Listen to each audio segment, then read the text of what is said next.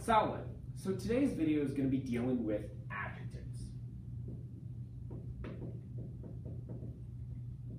So we've been seeing adjectives in our vocab lists a bunch. Um, and now in stage eight, and for anyone who's following along with the book, it's stage eight of the, the Cambridge book. So this is on page 132. It's the, about the language part two. All right. So with adjectives, we've seen a bunch of them. All right. And we've seen them mostly just describing regular old things. However, in this chapter, we're starting to see uh, degrees of those adjectives. We're starting to see overexcitement with that, All right. So before we've seen things like irati, all right, um, the the slaves were angry. But if they are super angry for whatever reason, maybe they're not getting fed enough, maybe they're not getting, you know, they're being worked uh, too harshly or being whipped too much, we might want to use, say they're very angry. Now in English we would add the word very. However, in Latin we add a little infix into it. And so the sentence changes from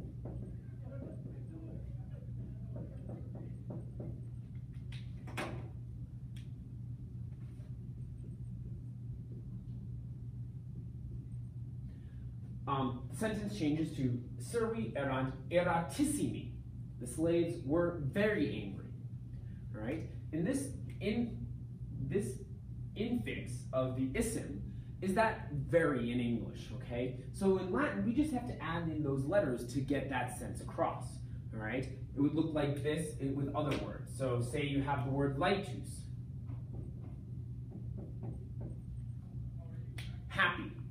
Uh, Quintus est laetus. We want to say Quintus is very happy. We get rid of that US and we get the stem light, L-A-T, L-A-E-T. We add I-S-S-I-M, and then slap on that ending again, US. Quintus est laetissimus. Quintus is very happy. Or say we are talking about um, Metella.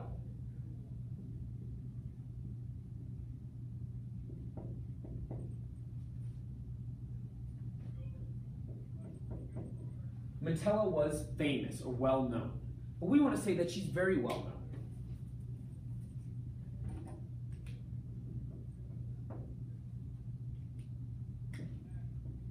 Metella was very well known. All we have to add in is these letters, I-S-S-I-M. And then we have this new degree. We have, we're able to say a very adjective. Now, in Latin, we call this, and in, and in English too,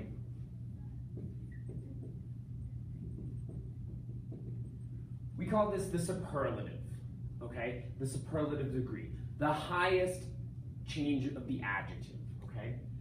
Now, just so you know, isim is going to get us most of the way there. But some words like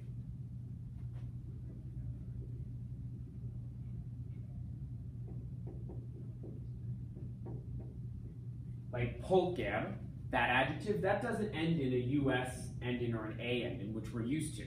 It ends with an R. And so we have a bit of a different uh, way to make it superlative. You would see it as